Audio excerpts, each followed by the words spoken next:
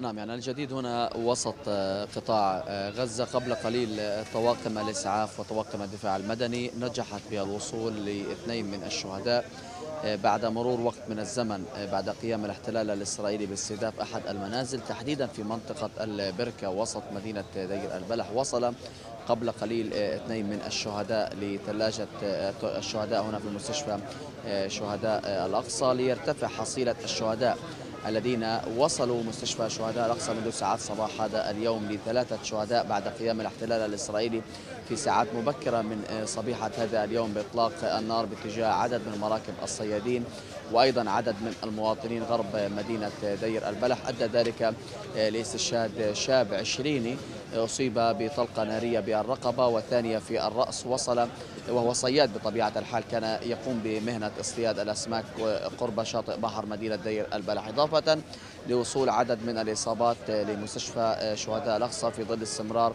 عمليات إطلاق النار أيضا من قبل الزوارق الحربية التي قامت بإطلاق النار باتجاه عدد من الفتية والأطفال. كانوا يقوموا بالتقاط بعض شبكات الإنترنت الهوائية قرب شاطئ بحر مخيم النصيرات حتى يقوموا بالاطمئنان على أهاليهم وذويهم في مدينة غزة وشمالها. قوات الاحتلال ومن خلال الطيارات المسيرة بدون طيار المدججة بالرصاص استهدفت هؤلاء الأطفال والفتية والشبان ووصل أربعة من المصابين هنا لمستشفى شهداء الأقصى.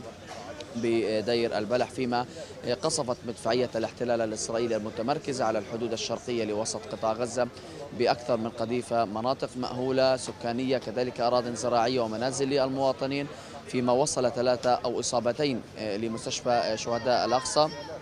أحدهم أصيب بشظايا بالقدم. وصلوا هنا لمستشفى شهداء الأقصى بدير البلح لترتفع الحصيلة منذ ساعات صباح. هذا اليوم لثلاثة شهداء وسبعة من المصابين وصلوا لمستشفى شهداء الأقصى في عدة غارات إسرائيلية وقصف مدفعي متواصل إضافة لاستهداف من قبل الزوارق الحربية. الليلة الماضية كانت يعني ليست هادئة على وسط القطاع. منطقة النصيرات ومنطقة دير البلح تعرضت لسلسلة من الغارات الإسرائيلية استهدفت أربعة منازل إضافة لأرض زراعية في منطقة النصيرات ومنطقة المفتي والمخيم الجديد.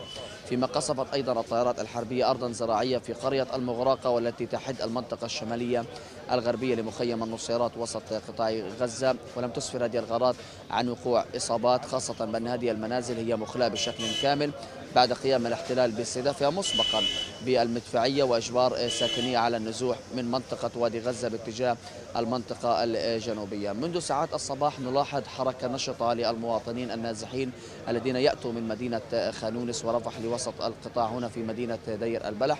تزامنا مع عملية التوغل البري والحصار المفروض على منطقة خان يونس والاستهدافات المتتالية.